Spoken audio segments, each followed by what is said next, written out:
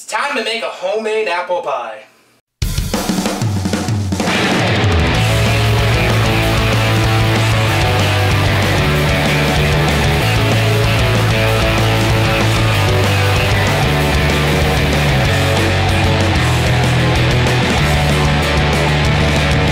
Greetings everyone, this is Nathan and we're in the process of making a homemade apple pie. In my apartment complex where I live, I we have a couple of apple trees in our apartment that grows apples, and now we're in August and the apples are ready to pick. So to save a lot of time, I've gone on and peeled 8 to 10 apples. I've cut them up, I've peeled them, I've taken all the seeds and cores out, they're ready to go. So before we put the apples in the pie crust, and by the way, this is store-bought pie crust. I know you can make your own, but I don't have the equipment to make it. This is a lot easier especially after you top all these apples like this. To get started, we're melting a stick of butter, which is half cup, and three tablespoons of flour. We're gonna melt this together.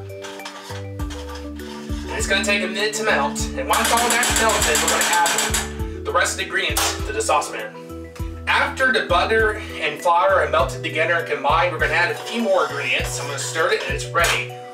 So, I got one fourth a cup of white sugar, a 1 4 cup of brown sugar, and 1 4 teaspoon of cinnamon. We're to pour all that in, along with 1 4 cup of water. We're going to stir this. It's already starting to boil, so this is not going to take long. Once everything's stirred together and is starting to boil, remove from the heat, and then we're going to add the apples and the toppings. I brought the mixture up to a boil, then turn it down to simmer and stir till it gets thick. It's pretty thick now, so it is ready. So I went on and put the apple, cut apples, on in the pie crust. What we're gonna do is we're gonna pour the sauce right over the pie, apples. Try to coat most of it. Some's probably gonna spill over the side, but that's alright. Doesn't have to be perfect.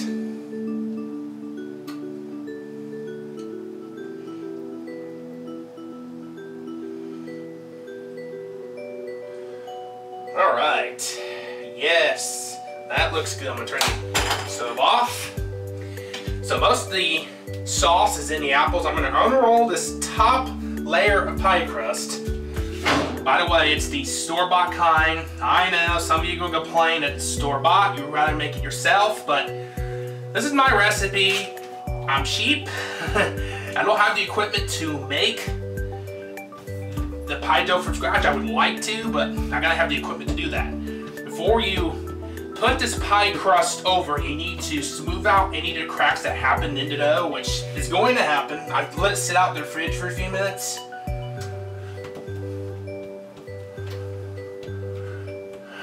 Alright, that's good enough. We're going to pour the, put the pie crust right over, like so. I'm going to kinker the crust over the side. Try to try to push the pie dough into the other pie dough crust below so it makes it good. I mean, you're gonna have some dough kind of overlap, but it's not too bad. You're not looking for perfection here. Just make sure it's good and you see a few holes trying to pop up, that's good, because we're going to need those holes anyways to vent the pie crust at the end anyway. So if you have a little bit overlapping, just, just take it off on the bottom. Okay. We're going to kind of fix some of the holes. They don't have to be perfect. I don't expect any pie to be perfect. as long as it tastes good, that's I think that's the only thing people care about. So I think we've got good enough. So try to center it. I'm gonna take out a knife. I'm gonna put a few little silts in the center so there's some steam that can like that. That's good. And voila. One more thing, we're gonna get a little cinnamon put a little cinnamon on top of the pie just to, for decoration purposes. I mean, pouring a little bit too much probably on here, but I can spread it out. That's good. That's perfect. All right. So the pie is ready to go in the oven. This pie is going to go in a 425 degree oven for 15 minutes. Then you're going to reduce the temperature to 350 and bake for 35 to 45 minutes. So in the oven, it goes. I'm to set it for 15 minutes. And there you go. It's going to be a while till you get to see the finished product.